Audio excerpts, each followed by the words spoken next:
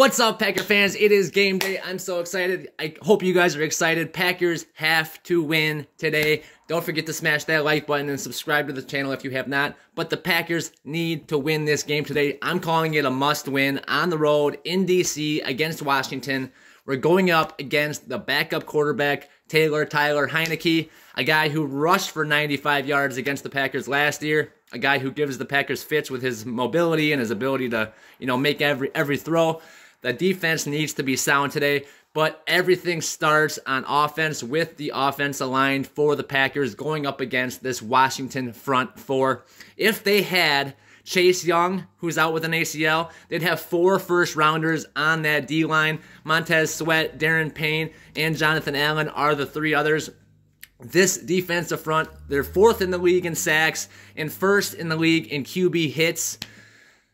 Packers need to protect Rodgers. It's going to be a long day on both sides of the ball, or um, off passing and running. If the Packers can't block it up front, um, they were going to do something. David Bakhtiari hit the injury report yesterday. Kind of, uh, you know, surprise there because he was practicing all week. He practiced three days this week, which also was a surprise. I hope that wasn't what kind of led to this new injury. But the Packers were going to shuffle the offensive line. They really wanted to leave David Bakhtiari at left tackle, obviously. Move Elgton Jenkins over to left guard, I think they were going to do. Have Yash at right tackle. And then throw, you know, Josh Myers still at center. And then have that right guard spot go to Jon Runyan Jr., I think. Now with David Bakhtiari's injury, they're going to have to move Yash to left tackle. That's going to, you know, kind of mess things up with where they're putting Jenkins.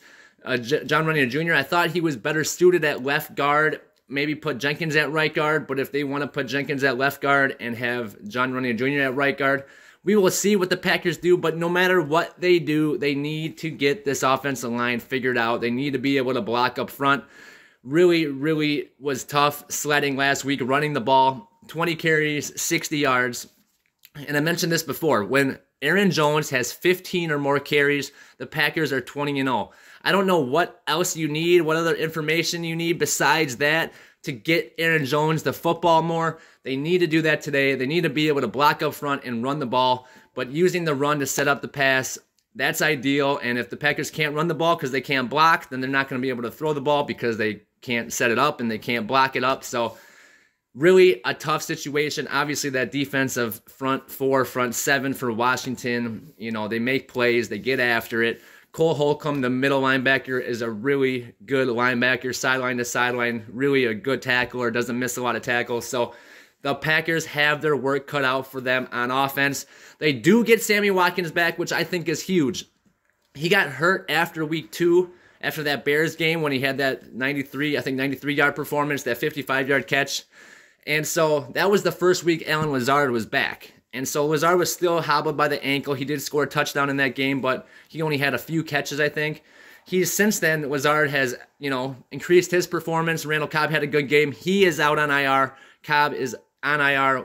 And so having Watkins and Lazard both back as wide receiver one, two, have Doubs in the slot or the, as wide receiver three, that would be really, really exciting to see. Um, I think Watkins, with his just big playability and some, you know, his route running and his speed, he can be really dynamic. And then Lazard is just a really good possession receiver, can go up and make the plays. I think having both of those guys healthy on the outside changes this offense up a little bit. Obviously, we need a block up front, but we haven't had both of those guys fully healthy this season. And then adding, you know, the rookies are starting to come along a little bit. We know that Christian Watson is out for this game as well. And so you know, injuries not really plaguing the Packers too bad this season. But when it comes down to, you know, Bakhtiari's shuffliness and not being able to figure out if he's going to be good to go, and then these rookie, the rookie receiver Watson being injured on and off, really kind of, you know, lagging his development on where he wants to be this season or at the end of the season or even mid-season. So Packers definitely need to figure out something on offense. They need to start scoring more points, obviously. This is an offensive league. It's a, a quarterback driven league. We have, you know, the two time back to back MVP, four time total MVP, and the Packers can't move the ball throwing it. They can't, you know, they don't get big plays anymore. The longest pass last week was the 35 yarder for a touchdown to Lazard. Just and then the Packers defense haven't been able to get off the field, haven't been able to make stops at all. well, you know, they played half a game last week. They were first half was good, you know, it looked promising, and then really a bad second half, kind of like against the Giants. So Packers defense, they're gonna have to play a full game of football. The defense, though, they have such an advantage over this Washington offense. This Washington offense is not very good. They do have that three headed monster at running back with JD McKissic, kind of the third down receiving back, Antonio Gibson, kind of that big power back, and then um, Brian Robinson, the young up and coming rookie who's really, really good. He'll probably get the starter, the bulk of the carries, but you know, all those guys can catch out of the backfield, all those guys can run. So it's to be up to the Packers defense to stop them. And then they have, you know, Curtis Samuel on the outside and Terry McLaurin, who is really good. I think ja, um, Jaire Alexander is going to be chasing him around the field all day today.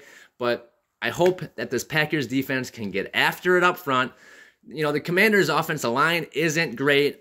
Their tight ends is, is decent, Logan Thomas. But if the Packers can get after Heinicke, and it's Heinicke's first start of 2022. He did start all of but like one or two games last year, I think.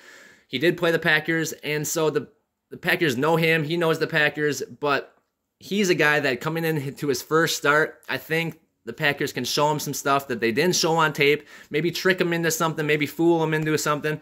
I think today is the day the Packers defense gets after it turn, force some turnovers. We only have one interception in the first six games. That was Jaire Alexander week two. Washington has two interceptions on the season, so they're not much better than we are on defense when it comes to that. They force their pressures up front. They get sacks. They have five guys with three or more sacks. That is crazy to think about. Packers have, you know, I think uh, Preston Smith and Rashan Gary both have more than three. But otherwise, Packers need to get more pressure up front. The, the pressure leads to forced throws or hurried throws, which can lead to turnovers on the back end. So they really got to start working in harmony with each other. But this Packers defense needs to get after it. I'm thinking Rashan Gary gets another sack today. He'll have seven and seven games. Hopefully he can get after it more.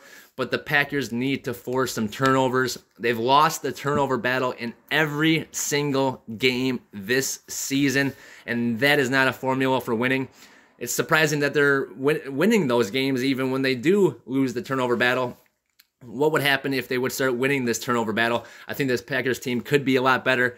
I think as these young guys start developing a little bit more, they have more time under their belt, the offense will start kind of picking it up and then getting these guys healthy. Hopefully, Bakhtiari's health can can get full go soon. I, I, maybe they should you know back him down and let it kind of go or reheal itself. But if it's something that's going to be a lingering issue forever now for him, that's really a bummer for Bakhtiari, and that's kind of a career for him then if this is going to be an ongoing issue. Hopefully he can get through this season and then heal up over the offseason and be good to go for next year, but that's something to watch closely. And so I was excited about having David Bakhtiari at left tackle, having Jon Runyan Jr. at left guard, or Jenkins at left guard, and then Myers at center. And then you put, you know, Jenkins or Jon Runyan Jr. at right guard, whatever way, whatever guard spot they feel better at, Jenkins and Runyan Jr. And then have Yash at right tackle. I really thought Yash could do it at right tackle. If he has the quick enough feet, he's 6'8 to play left tackle. If he can do left tackle, he can play right tackle.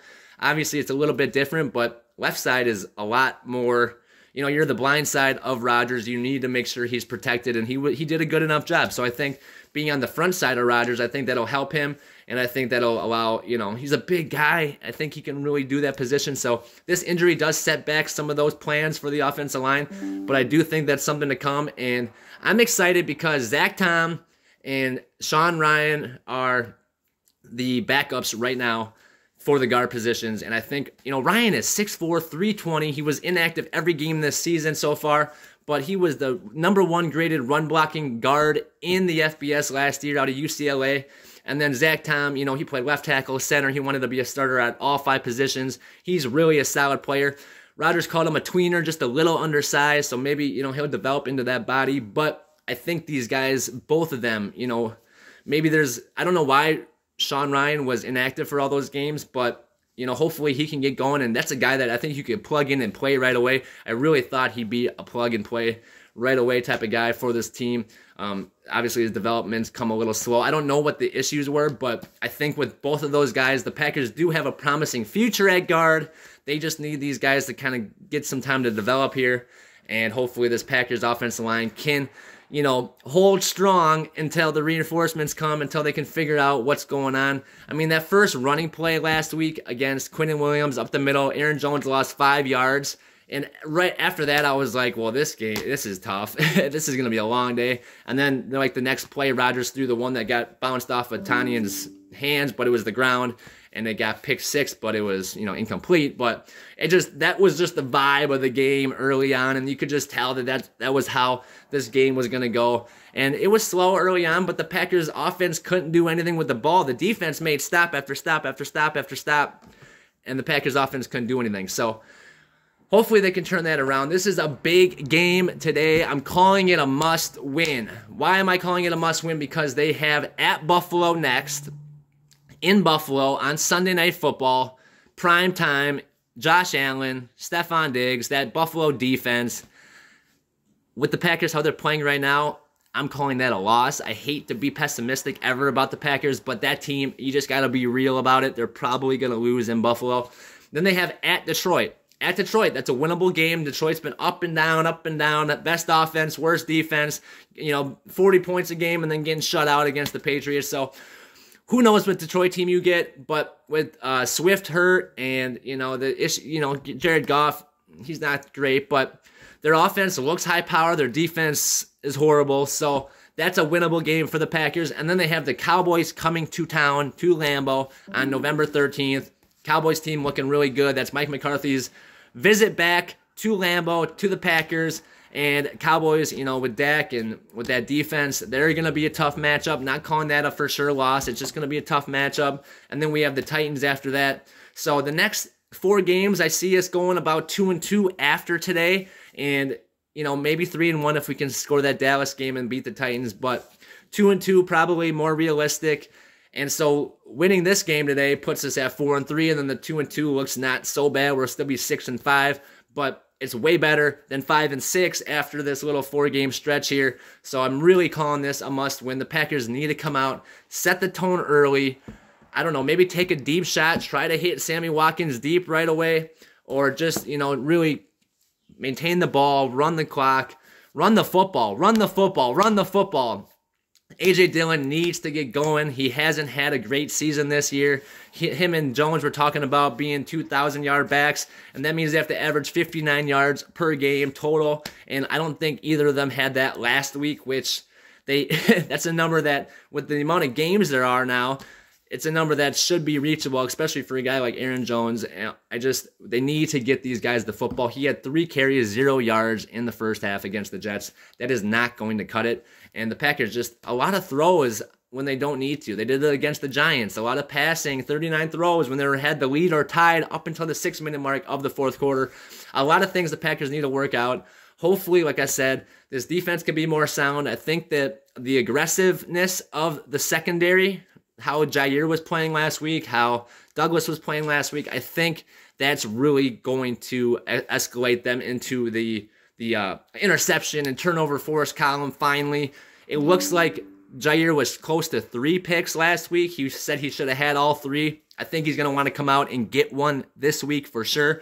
I think the Packers are going to be really coming after it. They have a standard in Green Bay that they want to live up to.